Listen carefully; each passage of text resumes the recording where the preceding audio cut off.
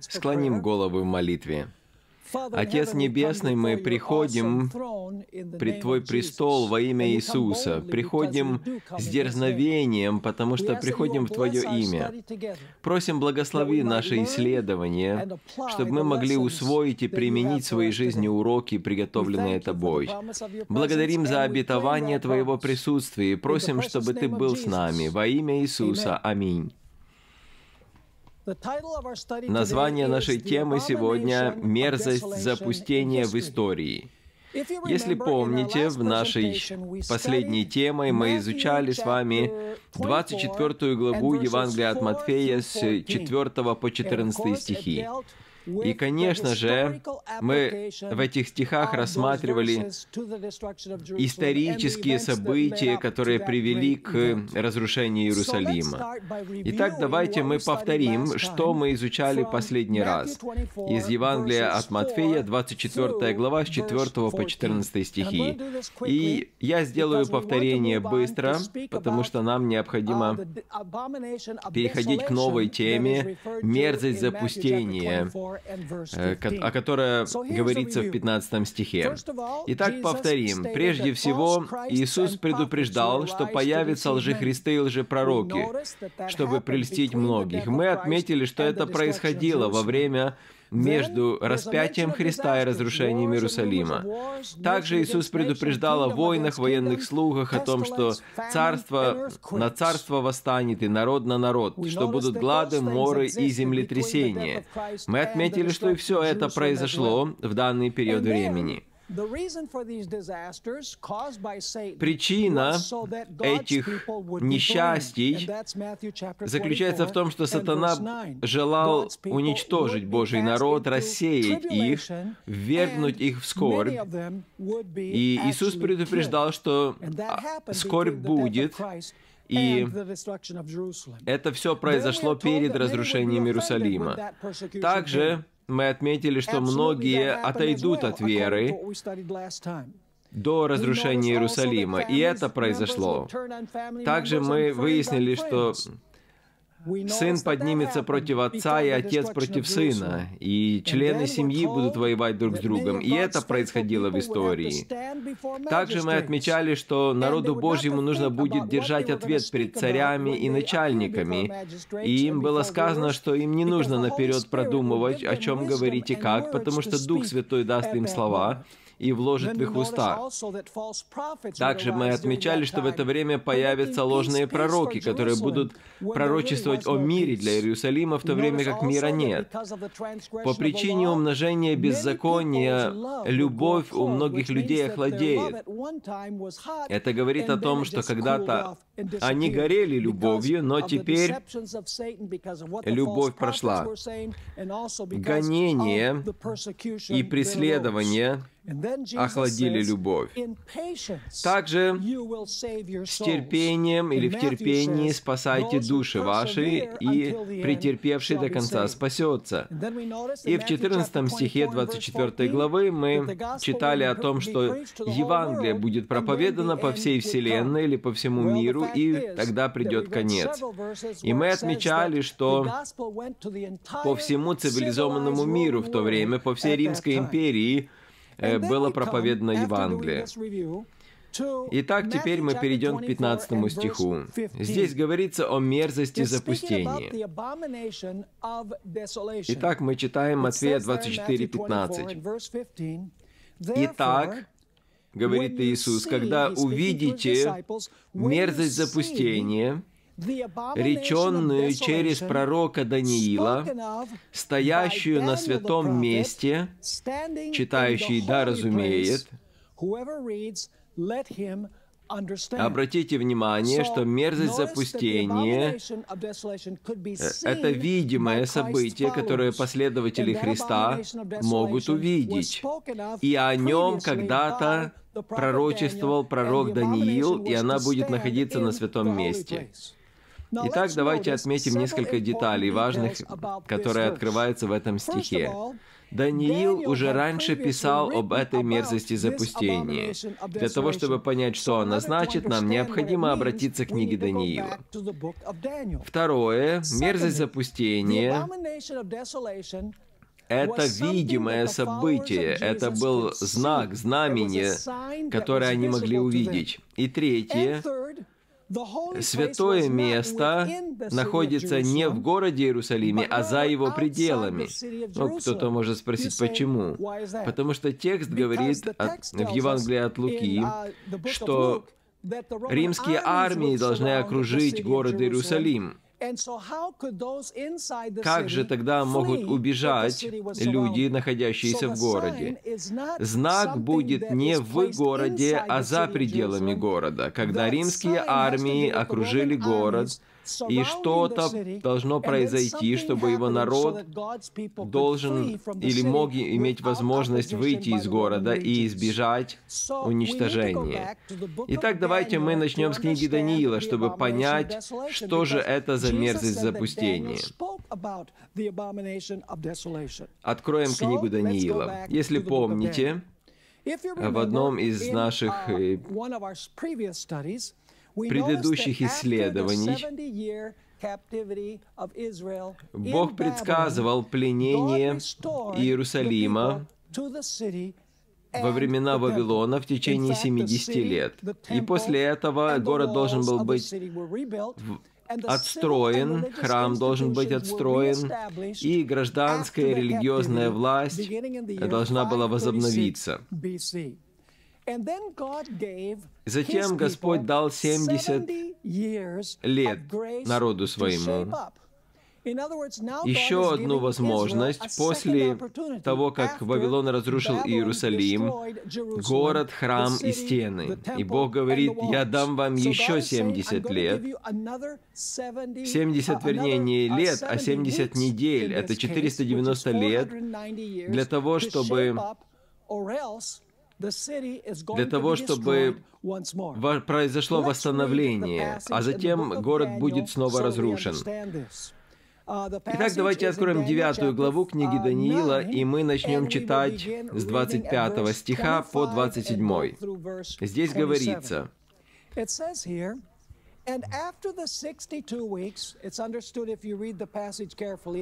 26 стих.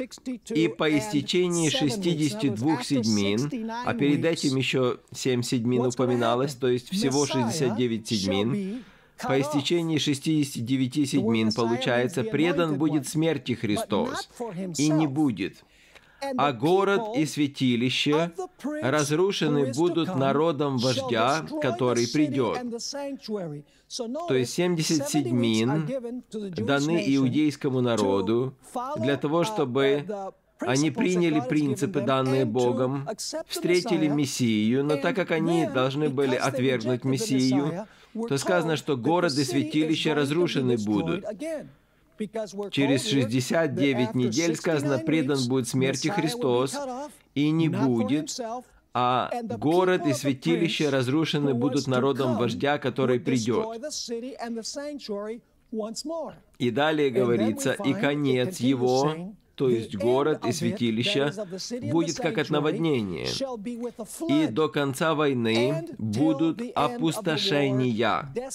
Ага, опустошение, или то, это то же самое слово, что запустение в английском. Затем в 27 стихе.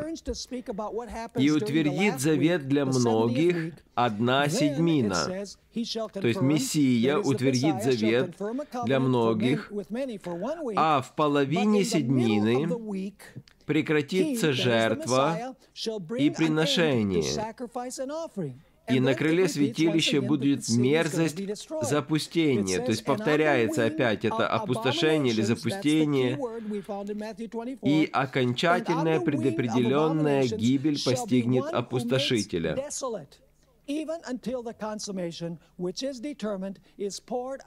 Обратите внимание, Здесь используется слово «мерзость» и также «запустение». Запустение или в предыдущем стихе «опустошение». Итак, давайте посмотрим, что же здесь есть. После пленения Вавилонского Бог дал иудейскому народу 70 недель, это 490 лет, для того, чтобы исполнить свою миссию. В конце 69-й недели помазанник или Христос, или Мессия придет. Здесь говорится о крещении Христа. И Он утвердит завет для многих в одной седьмине, то есть в этой последней седьмине, 70-й, Посредине седьмины он будет предан смерти Христос, и это то, что произошло с Христом.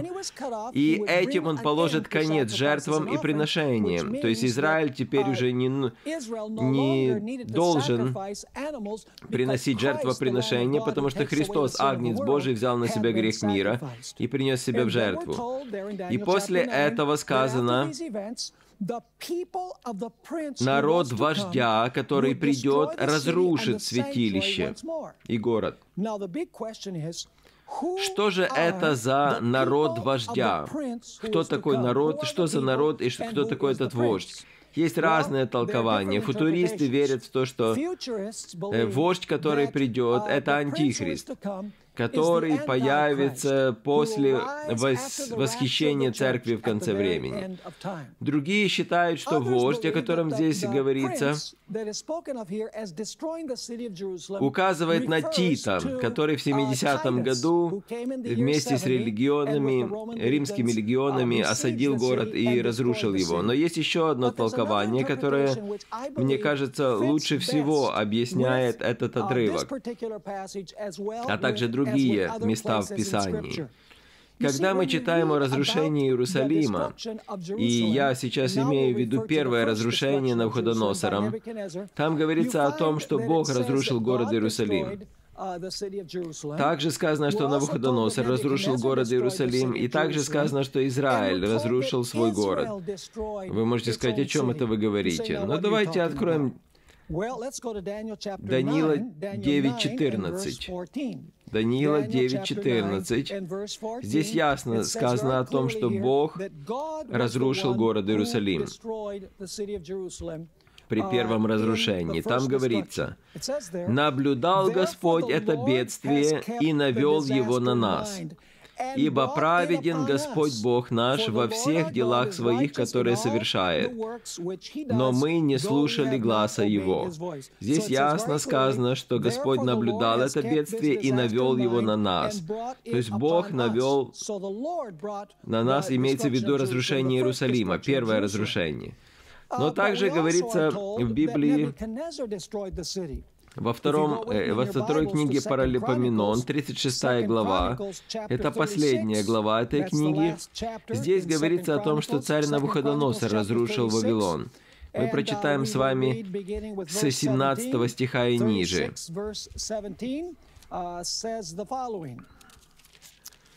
И он навел на них царя Халдейского, то есть Бог навел против Израиля или навел на Израиля царя Халдейского, и тот умертвил юноши их мечом в доме святыни их или святилища, и не пощадил ни юноши, ни девицы, ни старца, ни седовласова, все предал Бог в руку его. Обратите внимание, что Навуходоносор разрушил Иерусалим. Но Библия также говорит о том, что Израиль разрушил э, свой город. Кто-то может сказать, а где это такое написано? Давайте вернемся к книге Даниила, 9 глава, и стих 11. Здесь говорится следующее. «И весь Израиль приступил закон Твой, и отвратился, чтобы не слушать глаза Твоего. И зато излились на нас проклятие и клятва, которые написаны в книге Моисея, раба Божия, ибо мы согрешили перед Ним. То есть из-за их грехов пришло разрушение на город. То есть они сами навлекли на себя разрушение. И затем 14-15 стихи. «Наблюдал Господь это бедствие и навел его на нас». Ибо праведен Господь Бог нас во всех делах на своих, которые совершает, но мы не слушали гласа Его. И ныне, Господи Боже наш, изведший народ Твой из земли египетской рукой сильную и явившему славу Свою, как день сей, согрешили мы, поступали нечестиво.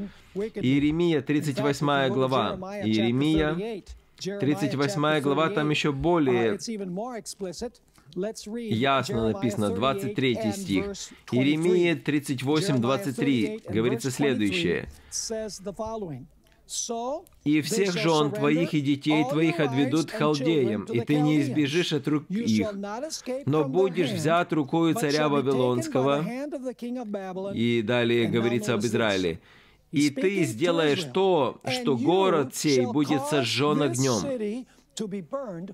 Итак, кто навел разрушение на Иерусалим? Израиль.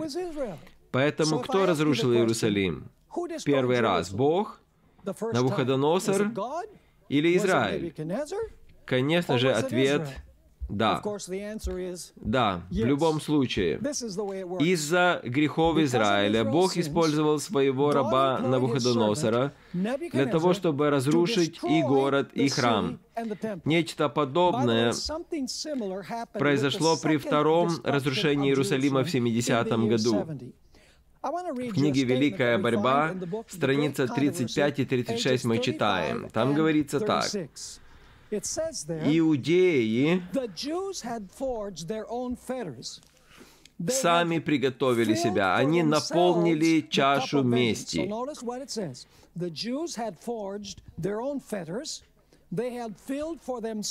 В полном разрушении этого народа и последующих скорбях, которые они пожали вследствие своего рассеяния, они собрали урожай, который сами сеяли. Пророк говорит, «Ты разрушил сам себя, это из книги Оси 13.9 и 14.1. Их страдания, пишет Эллен Уайт, очень часто представлены как наказание, данное прямым Божьим повелением.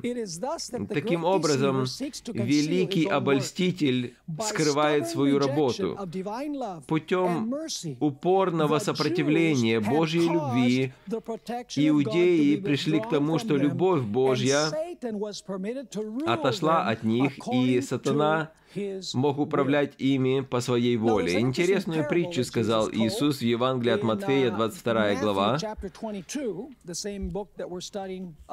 Это та же, тоже Евангелие, которое мы изучаем с вами. 22 глава, стих 7. Здесь предсказывается разрушение Иерусалима. И посмотрите, все три стороны здесь упоминаются. Э, э, сказано о том, что Царь посылал слуг, которых убили. Услышав о сем, царь разгневался и, послав войска свои, то есть это римлян, и истребил убийц онных и сжег город их. Итак, Бог послал свои армии, войска свои, римские легионы, чтобы уничтожить, истребить убийц Его Сына, Иисуса Христа. Uh, Матфея, 23 глава, стих 38 и 39. Здесь описана ситуация, когда Иисус последний раз покидал храм. И он высказал слова, которые мы уже читали в предыдущей теме. 37 стих. «Иерусалим, Иерусалим, избивающий пророков и камнями побивающий посланных к тебе. Сколько раз хотел я собрать детей твоих, как птица собирает птенцов своих под крылья, и вы не захотели.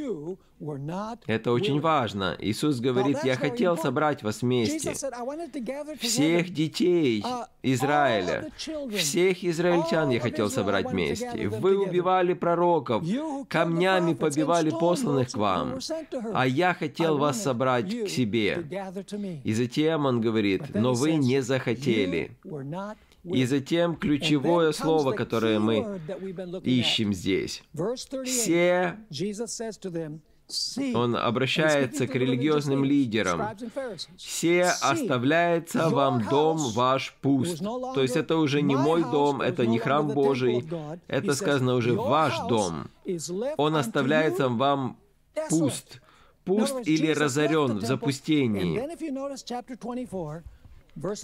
И затем следующее буквально он говорит о разрушении Иерусалима. Итак, Израиль отверг Христа, поэтому дом остается в запустении, и следует за этим разрушение города.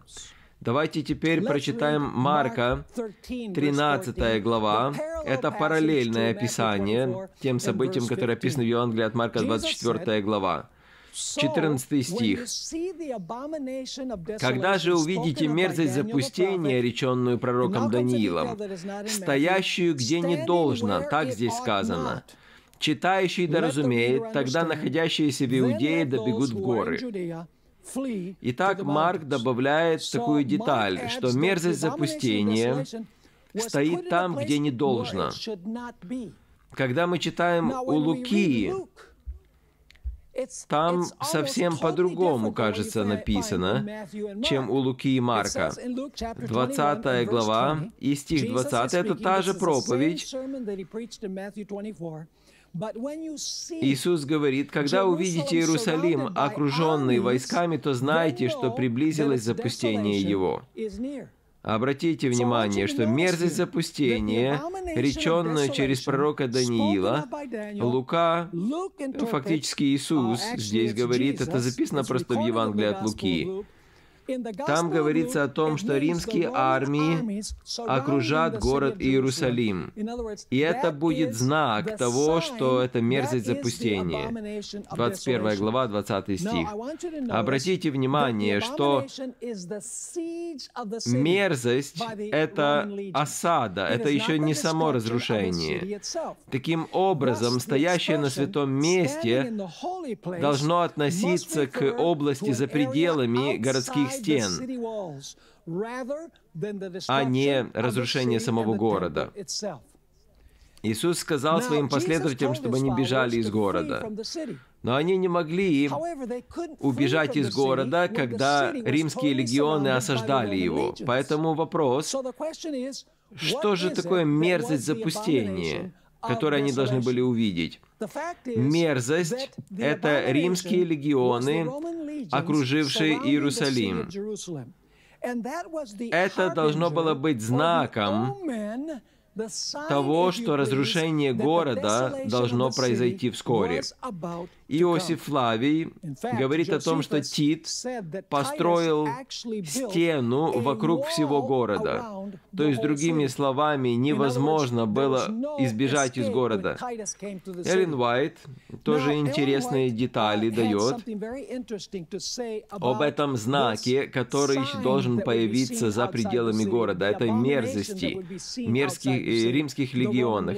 Книга «Великая борьба», страница 26, она написала следующее следующее. Когда языческие стяги римлян, или она говорит идолопоклоннические стяги римлян, или флаги римлян, будут поставлены на святой земле,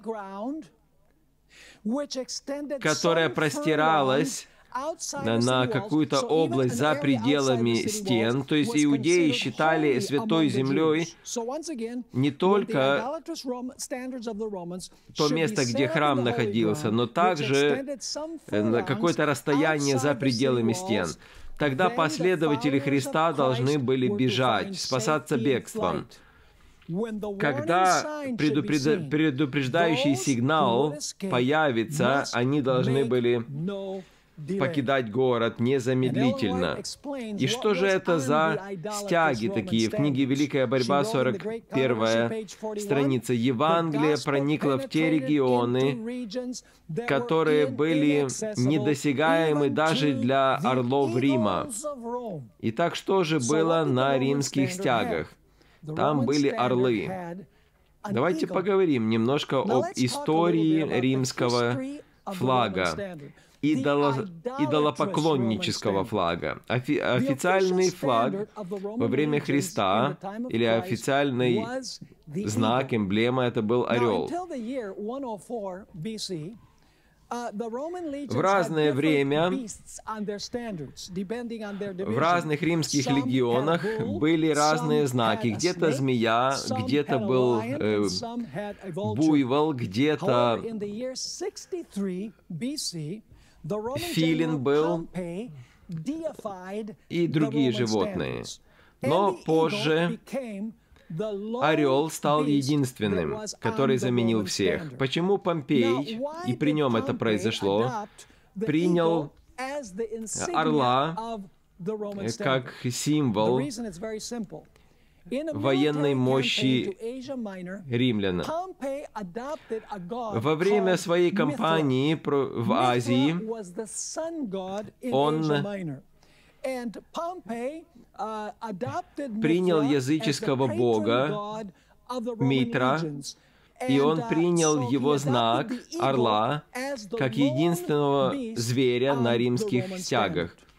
Константин Великий поклонялся этому богу также. Константин называл его Deus Sol Invictus, то есть это непобедимый сын.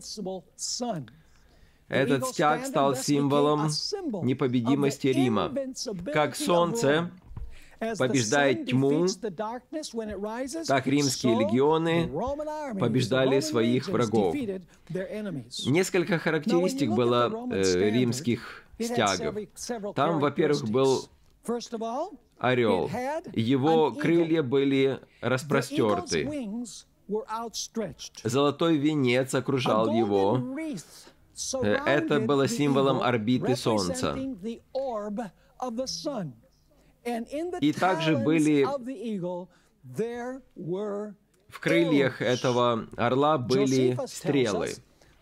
И они ему приносили жертвы и поклонялись этим стягам римским. Чему они поклонялись? Они поклонялись Богу Солнца, Митре. Обратите внимание, что Иосиф Флавий говорит в своей книге «Войны иудейские». Затем шли знамена, окружавшие орла. Перед каждым римским легионом царь и самая сильная из птиц, которая казалась им, то есть римским легионам, знаком превосходства. То есть это означало, что они победят всех, против кого выступают. То есть Иисус говорил, что это будет знак. Иосиф Лавий говорит, что римляне считали свои стяги знаком превосходства и признаком того, что они победят всех, против кого выступают. Но очень интересно, что в 1 Петра 5.13 Петр упоминает, что э, Рим — это Вавилон. Он говорит,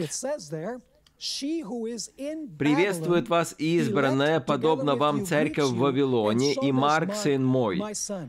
То есть Вавилон это имеется в виду Рим. То есть новый Вавилон, Рим, разрушил Иерусалим в 70 году, как и древний Вавилон разрушил город Иерусалим в дни Навуходоносора.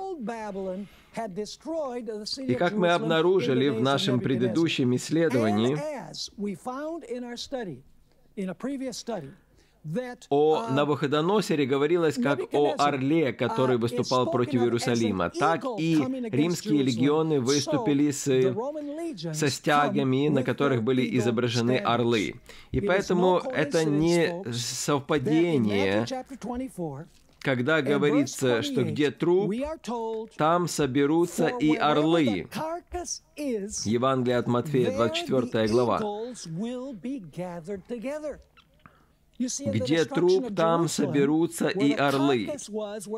Это имеется в виду римские орлы. Но вот теперь важный вопрос.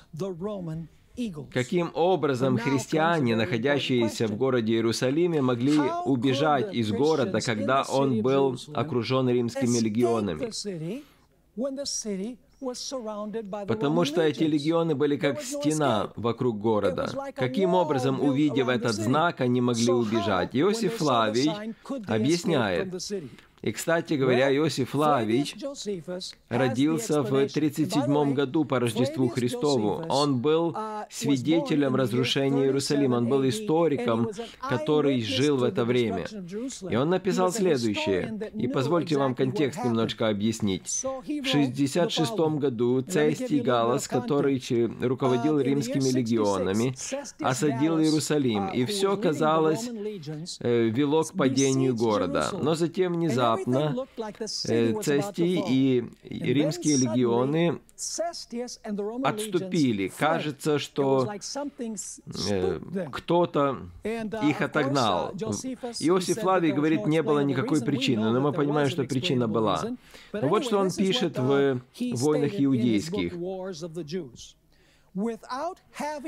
Цестий отошел от города без какой-либо видимой причины. Просто вот они ушли. Хотя казалось, что они должны были завоевать город вот-вот. Иудеи, когда увидели, что войска отходят, они говорили, лжепророки говорили, вот, мы же вам говорили, что город не падет, Бог с этим городом. И они побежали за римскими легионами, и Иосиф Флавий говорит о том, что многие солдаты были убиты римские, потому что иудеи погнались за ними. Но затем римляне вернулись. В этот раз они уже не отступали. В 70-м году Тит окружил город, и, как Иосиф Флавий говорит, римские легионы были как стена вокруг города, и не было никакой возможности спастись. Тем не менее, Божий народ Верные Богу христиане увидели тот знак, и они оставили э, город, когда Цестий отошел. И ни один христианин не оставался там, и никто из христиан не погиб. Давайте прочитаем Матфея 24 глава с 16 стиха и ниже, где описано, что, что должно произойти, когда христиане увидят знак мерзости запустения. Мы читали с вами 15 стих, продолжим дальше 16. Тогда, то есть когда они увидят мерзость запустения, тогда находящиеся в Иудее да бегут в горы. И кто на кровле, тот да не сходит взять что-нибудь из дома своего. И кто на поле, тот да не обращается назад взять одежды свои. Горе же беременным и питающимся сами в те дни. Очень интересно. Такой побег, бежать в горы из города – Тех, кто на кровле, не сходить даже вниз. Тех, кто на поле, не возвращаться даже за одеждой своей. Горе даже сказано. Это такое тяжелое будет время. Горе беременным и питающимся сами в те дни. И затем очень интересная деталь. Все христиане, находящиеся в городе, должны были уйти из него. Но они все соблюдали субботу, обратите внимание. 20 стих. «Молитесь, чтобы не случилось бегство ваше зимою, потому что будет холодно, так? Или в субботу». То есть христиане соблюдали субботу в 70-м году. То есть воскресенье тогда не было днем поклонения. 21 стих. «Ибо тогда будет великая скорбь». В 9 стихе там тоже упоминается скорбь. Но здесь великая скорбь, то есть более интенсивная. Ибо тогда будет великая скорбь, какой не было от начала мира до ныне и не будет. Как не было от начала мира до ныне и не будет. И далее он говорит, «И если бы не сократились те дни, то не спаслась бы никакая плоть, но ради избранных сократятся те дни». Я хочу, чтобы вы запомнили это выражение. Какой не было от начала мира до ныне и не будет. Мы вернемся к, этой, к этому выражению. Э, помните, когда Лот ушел из Содома? Помните, жена его пошла с ним также? Но из сердца своего она... Или в сердце своем она не отпустила этот Содом. Помните, Господь предупреждал, не оборачивайтесь даже, не выносите с собой ничего. Луки, в Евангелии от Луки 20, 17 глава, вернее, 28 стих, говорится следующее. «Так же, как было во дни Лота, ели, пили, покупали, продавали, садили, строили. Но в день, в который Лот вышел из Содома, пролился с неба дождь огненный и серный и истребил всех. Так будет и в тот день, когда Сын Человеческий явится. В тот день, кто будет на кровле, а вещи его в доме, тот не сходи взять их. И кто будет на поле, также не оборачивайся назад. Не обращайся назад. И затем проповедь из трех слов. «Вспоминайте жену Лотову». Она обернулась. В книге «Вести для молодежи», страница 419, Эллен Уайт писала, почему Лот решил поселиться в городе Содоме. Ну, потому что там было больше удобств в городе. И вот что она говорит здесь. Лот избрал для своего жилья Содом, потому что он больше искал земных преимуществ,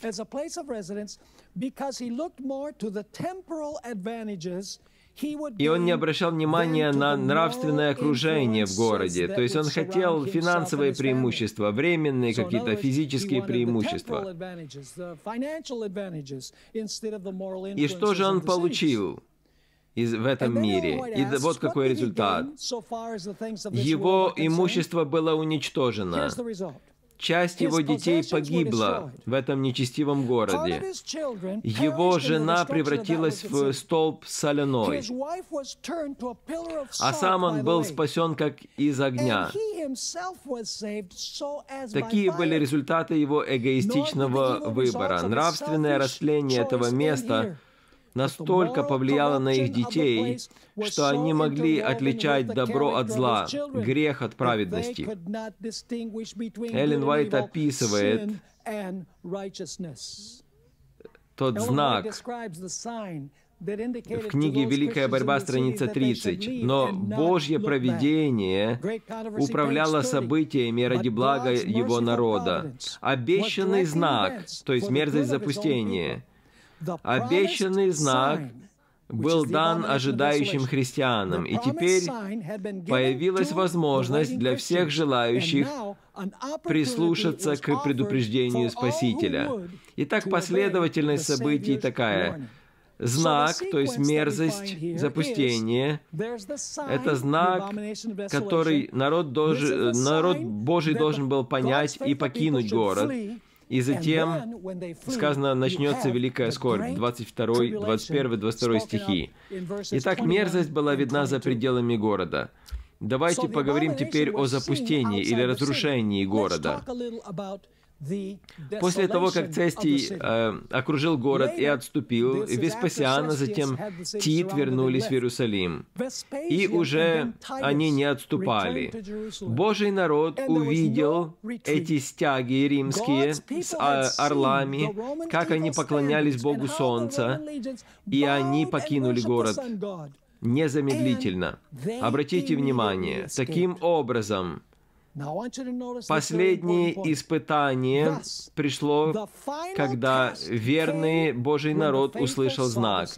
Те, которые отступили от Бога, они не поняли этот знак, но была группа людей, которая поняла знак. И знак этот разделил разделил людей, находящихся в Иерусалиме, на две группы. Те, которые увидели и поняли этот знак и убежали, и те, которые не поняли и остались. Мы позже вернемся к этой мысли. После того, как Божий народ избежал разрушения, уничтожения, уничтожения, город был уничтожен. И согласно Иосифу Флавию, около миллиона иудеев погибло. Но в великой борьбе, страница 30, Иллиной говорит, ни один христианин не погиб при разрушении Иерусалима. Помните выражение, которое я просил вас запомнить, какого не было от начала мира и не будет, 21 стих. Иосиф Флавий, я думаю, что он не читал эту проповедь Иисуса Христа. Он читал, он, но он написал следующее. Если сравнить страдания всех людей со страданиями иудеев в это время, то они несравнимы были. То есть те, которые остались в городе, все соблюдали субботу. И Иисус говорит, молитесь, чтобы не было бегства ваше в субботу. Национальное отступление привело к национальному падению. Следующие слова, они связаны с отвержением Мессии. И теперь это стало причиной национального разрушения. Луки 19, 31. Иисус подходил к Иерусалиму с восточной стороны, это 41 стих, и когда приблизился к городу, то, смотря на него, заплакал о нем и сказал, «О, если бы и ты, хотя всей твой день узнал, что служит к миру твоему, но это сокрыто ныне от глаз твоих, Ибо придут на тебя дни, когда враги твои обложат тебя окопами и окружат тебя и стеснят тебя отовсюду. Это римские армии, окружающие Иерусалим. И разорят тебя, или сравняют с землей в английском, и побьют детей твоих в тебе, и не оставят в тебе камня на камне. Почему? За что? За то, что ты не узнал времени посещения твоего. Итак, отвержение Мессии стало великой мерзостью, которая привела к опустошению города. И как я говорил уже в предыдущей лекции, христианский мир виновен будет в том же грехе. Но христианский мир скажет, но мы же принимаем Мессию, да, но вы отвергаете закон, отражение характера Мессии. Как можно говорить, что закон был пригвожден ко кресту, нам его не нужно соблюдать, что закон отнимает у нас свободу, и в то же самое время говорит, я люблю Иисуса, но Закон — это же выражение характера Христа. Вы не можете отвергать выражение или отражение и не отвергать Христа одновременно. Ну, позвольте забежать наперед немножко, чтобы вы поняли, к чему я веду. Когда пришло последнее испытание для Иерусалима, то знак, который разделил жителей города на две группы, повторится в последнее время. Также весь мир тогда будет разделен на две группы. В конце времени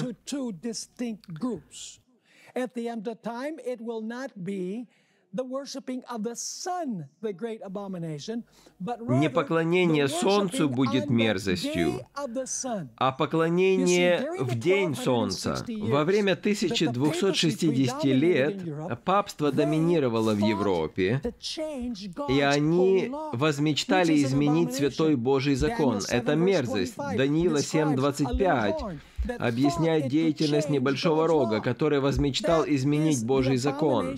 Это мерзость, о которой говорится в 8 главе также Даниила. В конце времени гражданские власти этого мира объединятся с папством, Соединенные Штаты будут принимать участие в этом, и они будут навязывать соблюдение воскресного дня. Это будет знак, который разделяет мир на две группы. Прочитаю вам из книги «Великая борьба», я надеюсь, что вы до конца останетесь, потому что я докажу это все из Библии, а также из Духа Пророчества. 600 15-616 страница Великой борьбы.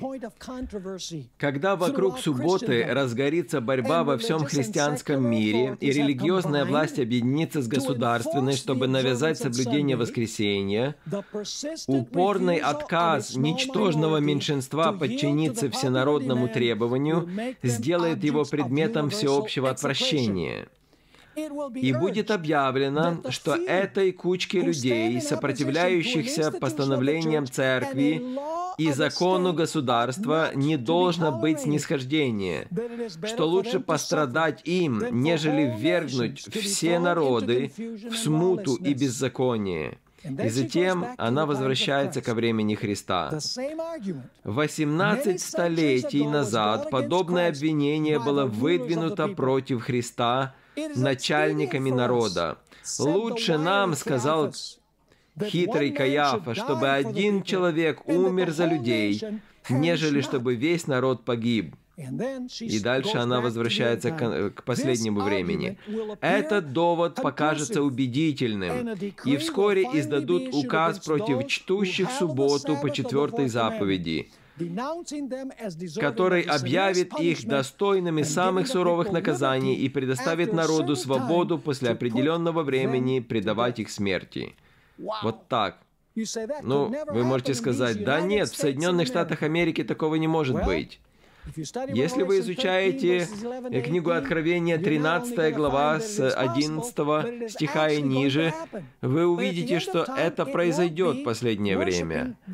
Но в конце времени люди не будут поклоняться Солнцу, люди уже слишком грамотные, но они будут поклоняться в день Солнца. Кто-то может сказать, а что тут общего такого? Какая разница? Э, ведь здесь есть, вернее, разница большая. Кто создал Солнце? Я думаю, что вы скажете Бог. Если вы христианин, конечно же. А создал ли Бог Солнце для поклонения? Нет. Нет, э, Солнце — это просто объект, который дает нам свет. А что произойдет, если вы сделаете Солнце объектом поклонения? Ну, Библия называет это идолопоклонством. Кто создал первый день недели? Первый день недели создал Бог. Можно прочитать в книге «Бытие», первая глава. Был вечер и было утро первого дня. Таким образом, Бог создал первый день недели. Позвольте спросить, Он создал первый день как святой день? Нет, это светский день, обычный день, который мы должны работать. Четвертая заповедь говорит, в шесть дней работай, делай всякие дела твои, а день седьмой суббота Господу Богу твоему. Поэтому Бог создал первый день. Он не создал его как день поклонения. Что происходит, если мы делаем первый день поклонения, вернее, первый день днем поклонения? Это тот же принцип, это идолопоклонство. То есть все, что человек устанавливает для поклонения, что Бог не установил, это идолопоклонство. Я надеюсь, что вы понимаете, о чем я говорю. Теперь давайте откроем с вами Евангелие от Иоанна, 11 глава, 48 по 51 стихи. Иисус воскресил Лазаря, и религиозные лидеры разозлились на Иисуса потому что множество людей видели это, и они верили в Христа. И теперь Каяфа и Синедрион собрались и говорит, у нас э, состояние опасности для, нашей, для нашего народа. Если, если все примут Христа, то христианство займет место иудаизма, придут римляне и захватят нас. И теперь они решили, как в этих условиях действовать. Каяфа говорит здесь, 48 стих, «Если оставим его так, то все уверуют в него, и придут римляне и овладеют и местом нашим, и народом. Один же из них, некто Каяфа, будучи на тот год первосвященником, сказал им, «Вы ничего не знаете, и не подумайте, что лучше нам, чтобы один человек умер за людей, нежели чтобы весь народ погиб». То есть Другими словами, враг народа номер один должен умереть, чтобы спасти народ. В конце времени, друзья, тот же аргумент будет поднят не против Христа, но против остатка народа Христа. В книге Откровения, 12 глава стих 17, 17 говорится о том, что «рассверепел дракон на жену и пошел, чтобы вступить в брань с прочими и от семени ее, сохраняющими заповеди Божьими и имеющими свидетельство Иисуса Христа. И те, которые делали это, не были атеистами, это не были светские люди, это были верующие люди, которые заявляли о том, что они народ Божий, и они поднялись против остатка Божьего, против прочих от семени ее. Этот сценарий повторится вновь. В книге «Великая борьба», страница 27, Эллен Уайт объясняет немножко больше эту деталь. Я читаю. Здесь говорится об иудейском народе, о руководителях. Они ненавидели Христа за его чистоту и святость. Они открывали их беззаконие, и они обвинили его в том, что он является причиной всех бед, которые пали на них. Обратите внимание, то есть они обвиняли Иисуса, они говорили, что причины всех наших проблем — это Иисус. Но на самом деле Чистота и святость Христа открывали их беззаконие, и это исполняло их ненависти ко Христу. Народ Божий последнего времени будет отражать характер Христа в своей жизни, и мир поднимется вокруг них, против них вернее, не потому что они являются причиной бедствий этого мира, но потому что их чистота и святость являются постоянным обличением для мира, и они не могут выдержать то, что они видят. И в конце времени не светские люди, не атеисты будут вести войну против Божьего народа, а те, кто называет себя христианами, как иудеи заявляли, что они народ Божий. Далее она продолжает. Хотя они понимали, что он безгрешный, они заявили, что его смерть была необходима для безопасности всего народа. Так же будет и в Соединенных Штатах Америки. Необходимо уни... избавиться от тех, кто соблюдает субботу. Воскресенье — это закон для, для поклонения, или день для поклонения по закону. Эти люди нарушают закон церкви и закон гражданский. Они знали, что он безгрешный, но они заявили, что его смерть необходима для спасения народа. И затем они цитируют. Затем цитирует Иоанна 11.48 о том, что если они оставят его в живых, то придут римляне и завладеют местом сими народом сим.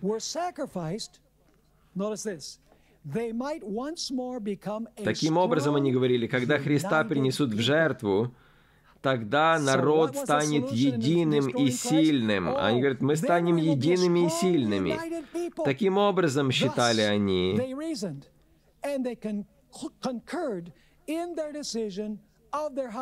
что лучше для одного человека умереть, чем для всего народа погибнуть. Итак, вот такая мерзость в отвержении Мессии привела к национальному падению, разрушению. Национальное отступничество приводит к национальному падению. Они считали, что избавившись от Иисуса и его последователей, они спасут Иерусалим. Но вместо этого, убив Иисуса, они навели разрушение на Иерусалим. Позвольте мне отметить еще одну мысль, прежде чем мы закончим. Иудейский народ, как церковь, не могли уничтожить Христа. Они не могли вынести смертный приговор. Они не могли его арестовать и убить. Им необходимо было заручиться поддержкой государственной власти, потому что как церковь они не могли это сделать. Что же они сделали? Они обратились к Пилату, который был гражданским правителем, и они сказали, Пилат, у нас есть проблема, у нас есть этот человек, который называет себя Мессией, и мы хотим, чтобы он был распят. Пилат говорит, у вас есть церковные законы, идите судите по своим церковным законам.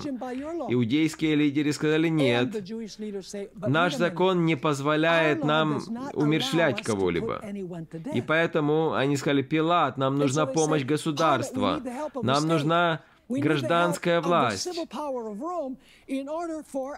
чтобы исполнить наши желания. И из-за того, что Пилат испугался, они сказали, что мы скажем кесарю, что ты отпустил человека, который виновен, который заявлял о том, что он царь. Боясь потерять свою политическую должность, он осудил на смерть невинного. Трижды Пилат публично объявил, что он не находил никакого греха, никакой вины в этом человеке. И тем не менее, он осудил невинного человека на смерть. Другими словами, произошло единство или объединение церкви и государства. И в конце времени также произойдет объединение церкви и государства, и будет издан закон, осуждающий верный Божий народ.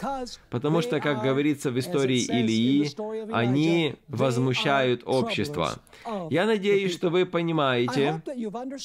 Я забежал немножко наперед. Я хочу, чтобы вы поняли, к чему мы придем с вами в нашем исследовании. Итак, давайте повторим, что такое мерзость запустения, реченная через пророка Даниила. Это когда римские армии окружат Иерусалим, и со своими стягами языческими, с орлами,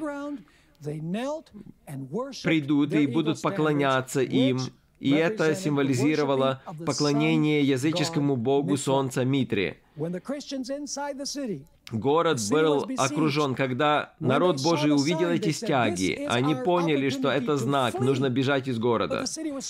И затем внезапно, кажется случайно, но мы понимаем, что по Божьему проведению Цестий отвел легионы от города, и теперь иудеи, находящиеся в городе, и, и лжепророки, которые там были, они говорили, мы же говорили, что Бог с нами, они погнались за римскими легионами, и э, много римских солдат пало в тот день. Но народ Божий увидел этот знак, и они убежали из города. И ни один христианин не погиб при разрушении Иерусалима. И несколько лет прошло, римские легионы вернулись. Под руководством полководца Тита.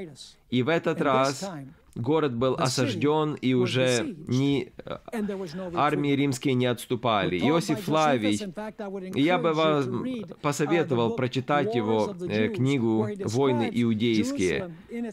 Он описывает там, что происходило в городе до разрушения, во время разрушения, после разрушения. Это очень печальная история для народа, который был там в городе и который был уничтожен. Национальное отступничество, отвержение Мессии, Мессии привело к национальному падению, и иудеи были рассеяны по всему миру. Снова они были отведены в плен. Город был разрушен, храм был разрушен, и они были рассеяны по всем народам. И повторюсь еще раз, что грех иудейского народа – это тот же грех, который будет характеризовать христианский мир в последнее время. Иудеи отвергли Иисуса Христа как Господа и Спасителя, а христианский мир отвергнет закон Божий, который является отражением характера Христа. То есть, другими словами, закон описывает какой Христос в своем характере, в своей личности. Невозможно сказать, я отвергаю отражение, но принимаю Христа в реальности, который отражен в законе. Это как сказать, глядя в зеркало. Я принимаю человека, который смотрит в зеркало, но я отвергаю его отражение. Нет, отражение — это это отражение человека, реального живого человека. Итак, в следующий раз мы будем изучать с вами, как в Евангелии от Матфея, 24 глава, с 4 по 14 стихи касается последнего времени и что значит мерзость запустения в конце времени.